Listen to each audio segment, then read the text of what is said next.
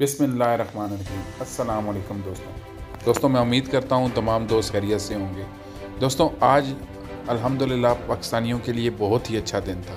اور یہاں پہ میں تین اچھی خبریں تمام پاکستانی بھائیوں کے لیے لے کر آیا ہوں۔ دوستوں، میں ابھی ابھی آپ کو تمام تینوں خبریں آپ کو بتاؤں گا۔ بتانے سے پہلے میں آپ تمام دوستوں سے ریکویسٹ کروں گا کہ میری ویڈیو کو لائک کریں سبسکرائب کریں اور بیل کا بٹن ضرور دبائیں۔ تو میں اپنی ویڈیو کا آغاز کرتا ہوں۔ اور سب سے اہم اور بڑی خبر جو ہے اسپیشلی پاکستان، سعودی عرب میں رہنے والے پاکستانی بھائیوں کے لیے ہے اور ان کو بتاتا جاؤں کہ اس وقت سعودی عرب کی گورنمنٹ نے ایک اچھی خبر سنائی ہے ان ممالک کے لیے جو اس وقت ٹریول بین میں شامل ہیں۔ ان میں پاکستان، انڈیا اور دیگر ممالک شامل ہیں۔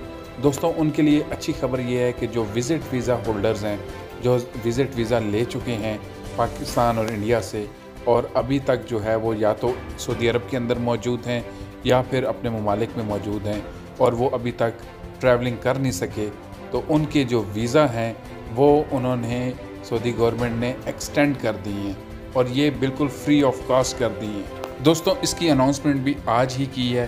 سعودی منسٹری آف افیئرز نے اور یہ بھی بتایا ہے کہ یہ جو فری آف کاسٹ جو ایکسٹینشن ہوئی ہے، یہ اس کی جو ڈیٹ ہے وہ تیس نومبر ہے۔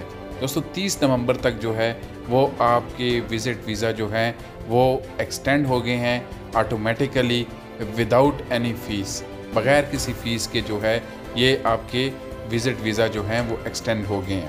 دوستوں یہ بہت ہی اچھی خبر ہے۔ اور دوسری اچھی خبر یہ ہے کہ دوستوں جیسا کہ آپ کو پتہ ہے کہ پاکستان اور انڈیا کا آج میچ تھا اور الحمدللہ پاکستان نے انڈیا کو اس میں بیٹ کیا ہے۔ اور کافی عرصے کے بعد تقریباً پاکستان نے آج تک کسی بھی ورلڈ کپ میں انڈیا کو نہیں شکست دی، لیکن یہ واحد موقع تھا کہ پاکستان نے انڈیا کو اس میں شکست دی اور وہ بھی دس وکٹوں سے دوستوں۔ اس میں جو اہم جو کھیل پیش کیا، اس میں شاہین افریدی تھے، جنہوں نے اپنی بہت نبی تولی بالنگ کی اور بہترین بالنگ کر کے دو وکٹیں حاصل کی۔ اس کے بعد جب بیٹنگ کا ٹائم آیا تو دوستوں، بابر اعظم اور جو دوسرے ہمارے رضوان ہیں وکٹ کیپر بیٹسمین ہیں، انہوں نے دونوں کی اچھی شراکت پارٹنرشپ لگی اور بغیر کسی وکٹ نقصان کیے ہوئے دونوں کھلاڑیوں نے آسانی سے جو ہے چیز ٹارگٹ کو کیا۔ دوستو، یہ پاکستان کے لیے بہت اچھی خبر تھی اور ابھی تک دوستوں پاکستان اور انڈیا یا دوسرے ممالک میں جہاں پہ بھی پاکستانی رہ رہے ہیں، وہ ابھی تک اپنی خوشی کا اظہار کر رہے ہیں، پاکستان کرکٹ ٹیم کو مبارکباد دے رہے ہیں۔ اور کیونکہ یہ دوستوں، ایک ایک تو آپ کو پتہ ہے کہ ہمارے پلیئرز کو بین کر دیا تھا جس کی وجہ سے جو ہے کافی زیادہ ناراضگیاں اور ان آپ پلیئرز میں بھی موجود تھیں۔ اور جو ہے وہ آپ پی سی بی کے بی سی سی آئی کے ساتھ بھی تھی لیکن الحمدللہ پاکستان کو یہاں پہ فتح ہوئی ہے اور پاکستان نے انڈیا کو بآسانی جو ہے وہ دس وکٹوں سے ہرا دی۔ دوستوں اب تیسری اور اہم خبر کی طرف بڑھتے ہیں۔ میں آپ کا زیادہ دیر انتظار نہیں کروں گا۔ تیسری اور اہم خبر دوستوں صرف پاکستانیوں کے لیے نہیں، بلکہ تمام مسلمانوں کے لیے ہیں۔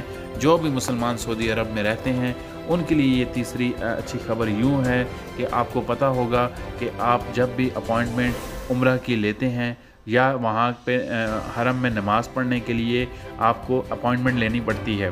اپوائنٹمنٹ کے لیے دوستوں آپ کو توکلنا اعتمنا کا استعمال کرنا پڑتا ہے۔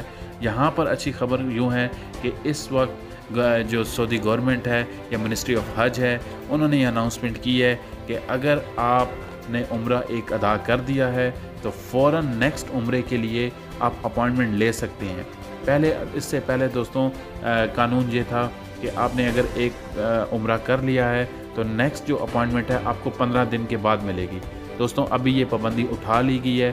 آپ نے اگر عمرہ ادا کر دیا گیا ہے یا آپ نے نماز وہاں پہ ادا کر دی ہے، تو فوراً آپ نے دوبارہ اپوائنٹمنٹ اپلائی کرنا ہے اور آپ کو اسی وقت نیکسٹ اپوائنٹمنٹ بھی مل جائے گی۔